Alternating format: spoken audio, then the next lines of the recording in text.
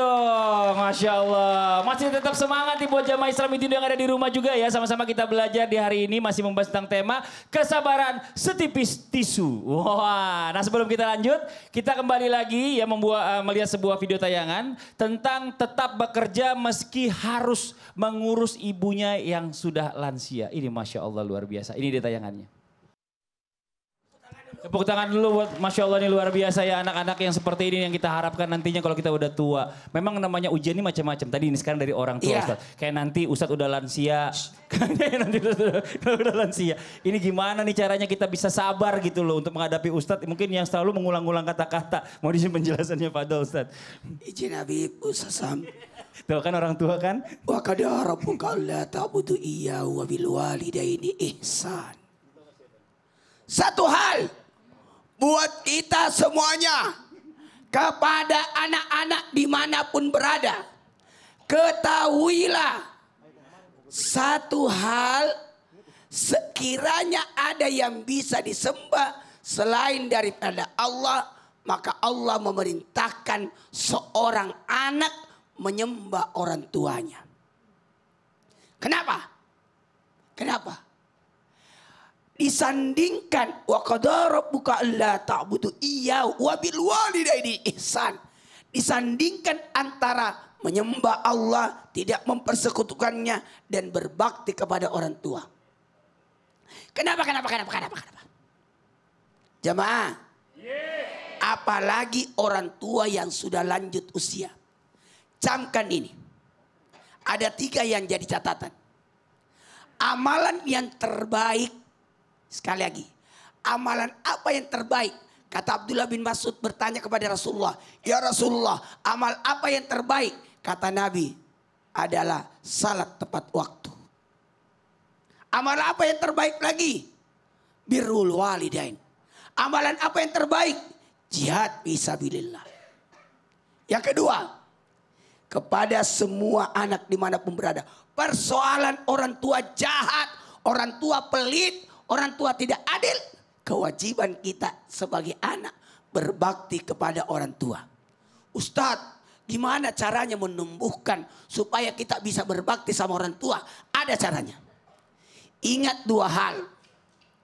Ingatkan kebaikannya dan ingat pengorbanan orang tua. Satu ada tiga. Ingat Kan kebaikannya, kebaikannya dan ingat pengorbanan orang orang tua. Masya Allah. Jazakallah khairan kasih. Terima kasih banyak Ustadz Maulana. Tepuk tangan buat Ustadz Maulana. Boleh silakan duduk. Sekarang kita lanjut lagi waktu kita memberikan kesempatan lagi untuk bertanya. Tapi sebelumnya kita masuk dulu ke segmen Tanya dong Ustadz. Kami semua tanya dong Ustadz. Oke yang mau nanya boleh silakan angkat tangannya Ibu. Wah. Mana lagi? Sebentar Ibu ya. Ada lagi yang sebelah sini dulu lagi. Oke Ibu boleh izin berdiri. Silakan. Bismillahirrahmanirrahim. Assalamualaikum warahmatullahi wabarakatuh. Waalaikumsalam warahmatullahi wabarakatuh. Perkenalkan nama saya Ibu Komaria Ibu Komaria. dari Majelis Taklim Al Hidayah Ciputat, Ciputat. Kota Tangerang Selatan. Tepuk tangan dong. Masya Allah silakan Ibu Komaria. Mau bertanya, Pak Iya Ustadz? boleh silakan Ibu. Ada orang Mm-mm. yang mengeluh, Mengeluh. iya karena hidupnya selalu kekurangan. Kekurangan. Kita kan harus sabar. Benar. Pertanyaan saya Pak Ustadz, Pertanyaannya. bagaimana cara menangani ya hidup serba kekurangan ini? Oh mantap. Terima kasih. Itu aja Ibu Komaria ya. Makasih banyak Ibu. Ya, Waalaikumsalam warahmatullahi wabarakatuh. Ya Assalamualaikum. Gitu. Tepuk tangan dong buat Ibu Komaria. iya nggak apa-apa. Kalau diri ini nggak segampang itu. Mohon izin dijawab Bib. Dia menyusahkan saya. Masa mic-nya Iya dikasih kamu pegang dulu aja. Ya akhir Silakan, Bib. Mas Fadli, Ustaz. Ustaz Maulana. Bismillahirrahmanirrahim. Allahumma salli ala Muhammad wa ala Muhammad. Allah Subhanahu wa taala menguji kita dengan harta, dengan kehidupan kita dan juga dengan apa pun yang Allah taala berikan kepada kita, semua pasti akan ada ujiannya dari Allah. Itulah bentuk kasih sayangnya Allah Subhanahu wa taala disuruh ingat kembali kepada Allah, mendekatkan diri kepada Allah, bertakwa kepada Allah. Karena yang namanya rezeki sudah ditentukan sama Allah. Wa ma min dabatin fil ardi ila 'ala Allahi rizquha wa ya'lamu mustaqarraha mustadaha kullun fi kitabim mubin. Jelas bahwasanya binatang melata sekalipun yang enggak bergerak sudah ditentukan rezekinya sama Allah. Disuruh sabar, disuruh bersyukur, disuruh untuk apa lagi? Wa may yattawakkal 'ala Allah fahuwa hasbuh. Bertawakal kepada Allah, maka Allah bukakan pintu jalan keluarnya. Siapa orang yang bertawakal kepada Allah, maka Allah Subhanahu wa taala akan menuntunkan jalannya untuk mendapatkan rezeki tersebut.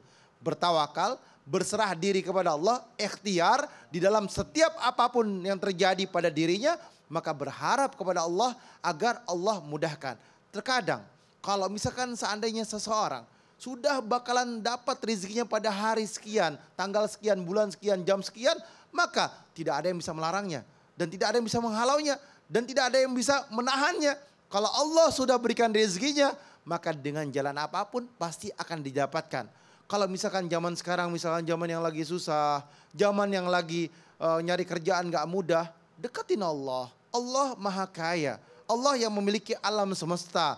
Allah Tuhan kita. Kita hamba Allah. Kita manusia hanya melakukan apa yang Allah Ta'ala perintahkan. Bahwasanya tugas kita apa? Wa ma khalaqtul jinna wal insa illa liya'budun. Kita beribadah kepada Allah, mendekatkan diri kepada Allah, bangun malam minta sama Allah, paginya ikhtiar cari jalan ke sana, jalan ke sini, ketemu teman, silaturahmi, berharap akan Allah kasih rizki, pasti Allah berikan jalan ketika hamba tersebut berupaya untuk mendapatkan rizki tersebut. Makanya dari kecil ibadah, sholat, dekat kepada Allah, sekolah yang rajin, sekolah lagi, belajar, kursus, atau pesantren, ilmu yang dia dapat bisa dia gunakan untuk mencari daripada rezekinya, cari keberkahan dan lain sebagainya. Oleh karena itu, manusia yang paling baik adalah mereka yang berdoa kepada Allah. Kita doa bareng-bareng Ibu. Kita berharap penonton di rumah mendapatkan rezeki yang banyak, yang berkah, yang halal, Amin. yang juga Allah Subhanahu wa taala sayang sama kita. Dengan rezeki tersebut Allah jaga dan Allah lindungi kita. Bismillahirrahmanirrahim. Bismillahirrahmanirrahim. Allah maftah lana ya Allah. Allah maftah lana.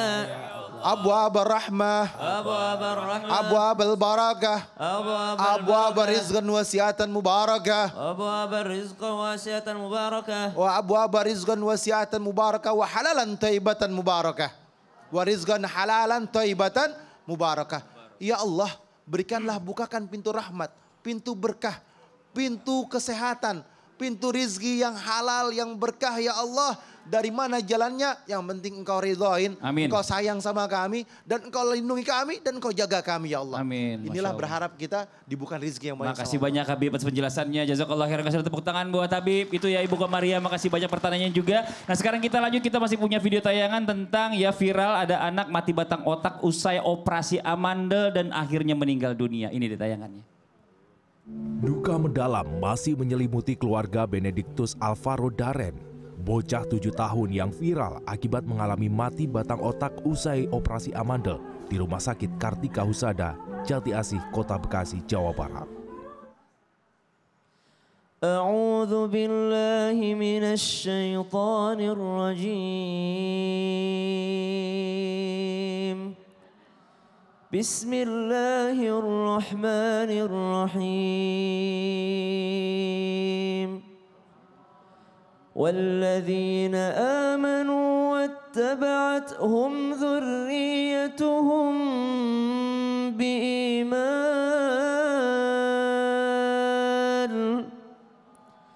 ألحقنا بهم ذريتهم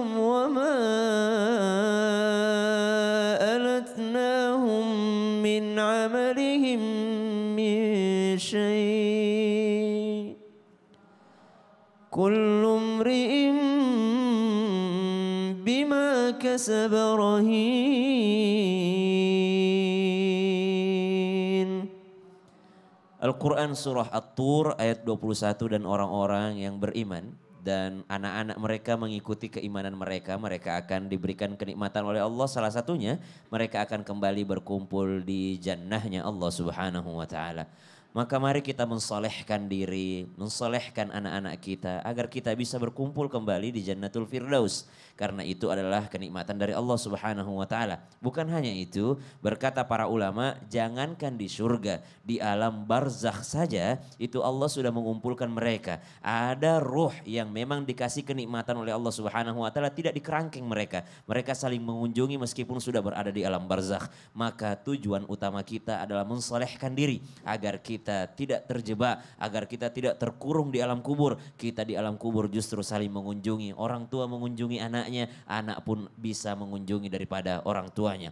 Dari sahabat Sayyidina Anas bin Malik radhiyallahu anhu mardahuma ia berkata, Rasulullah sallallahu alaihi wasallam bersabda sebagai hiburan bagi orang tua yang kehilangan buah hatinya, tiadalah seorang muslim yang ditinggal meninggal dunia oleh tiga orang anaknya yang belum mencapai dewasa, melainkan Allah akan memasukkannya ke dalam surga oleh kemurahan rahmatnya Allah subhanahu wa ta'ala terhadap mereka. Yang Nabi sebutkan adalah tiga orang, saking sedihnya orang tua yang kehilangan anaknya. Namun bagaimana dengan kalau satu orang yang meninggal dunia? Berarti bukan karena meninggalnya dia mendapatkan rahmat Allah, tapi karena sabarnya dia menghadapi musibah dari Allah subhanahu wa ta'ala. Dari sahabat Abu Musa al-Ash'ari, Rasulullah sallallahu alaihi wasallam bersabda, "No- bila seorang anak meninggal dunia, Allah bertanya kepada para malaikat, bagaimana respon daripada orang tuanya? Bagaimana kalian mengambil nyawa anak daripada hambaku? Mereka menjawab, Allah subhanahu wa ta'ala pun bertanya kepada malaikat, apa tanggapan hambaku? Ia tetap memujimu ya Allah, ia tetap mengucapkan Alhamdulillah ala kulli hal, dan mereka mengucapkan kalimat istirja, inna lillahi wa inna ilaihi raji'un. Maka Allah pun berfirman, dirikanlah sebuah istana di surga untuk hamba-hambaku. Namailah rumah tersebut Baitul Hamdi, perintah Allah. Apa arti Baitul Hamdi? Rumah istana bagi orang-orang yang tetap memuji Allah subhanahu wa ta'ala meskipun dalam keadaan kesedihan yang mendalam. Wallahu Allah. ta'ala Terima kasih banyak Ustadz Syam. Tepuk tangan buat Ustadz Syam. Nah sekarang satu lagi, saya mau kasih kesempatan sama jamaah yang mau nanya. Boleh silakan angkat tangannya Ibu. Oh, oh yang sebelah sini silakan Ibu izin. Ya, lihat ke depan sana Bu. Coba boleh berdiri. Aduh. Oh, dengkulnya aman Bu. Iya, oke. Ya, silakan Bu. Assalamualaikum warahmatullahi wabarakatuh. Waalaikumsalam warahmatullahi wabarakatuh. Nama nama saya Haji Ayi Quraisy dari Kalimantan Selatan Tanah Bumbu. Wow, Kalimantan tepuk tangan. Pertanyaannya Ibu. Pertanyaannya, Hmm. ketika kesabaran setipis Tisu. tisu, heeh. kita kan nggak boleh marah-marah. Mm-mm. Tapi daripada kita diam, Mm-mm. diamnya seperti apa? Apa seperti gini? Oh begitu. Gimana Bu? Oh begitu. ya kalau ibu begitu gimana kalau kita tunggu jawabannya setelah yang satu ini. Tetap di Islam itu indah. Jamaah.